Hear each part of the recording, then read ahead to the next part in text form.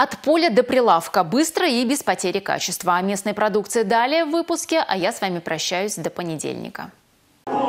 Как жаль, что все эти деликатесы нельзя попробовать. Строжайшее предписание Роспотребнадзора вышло накануне. Мясная и молочная продукция, произведенная в хозяйстве Решита Сандяпова, не нуждается в особом представлении. Она известна в республике и пользуется большой популярностью. Начиная с 2008 года фермер расширяет свое хозяйство, развивая все новые и новые виды производства. Гордость фермера – продукты из конины. Не все знают, что это мясо – просто кладезь витаминов. Просто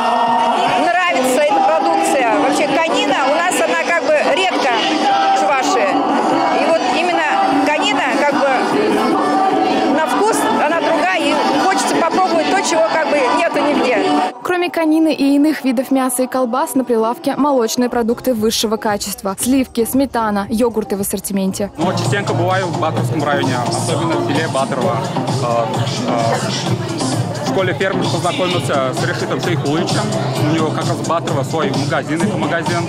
Э, Там у него продается очень много разных продуктов. Частенько, когда заезжаю в Батрово, у него покупаю йогурты.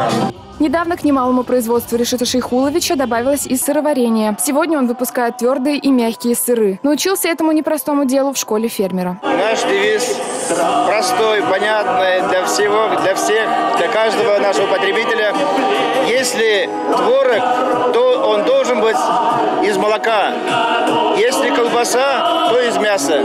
Продукты крестьянско-фермерского хозяйства Решита Сандяпова популярны не только в Чувашии, но и в Татарстане и даже в Москве. Иначе быть не может, ведь натуральный продукт ценится везде.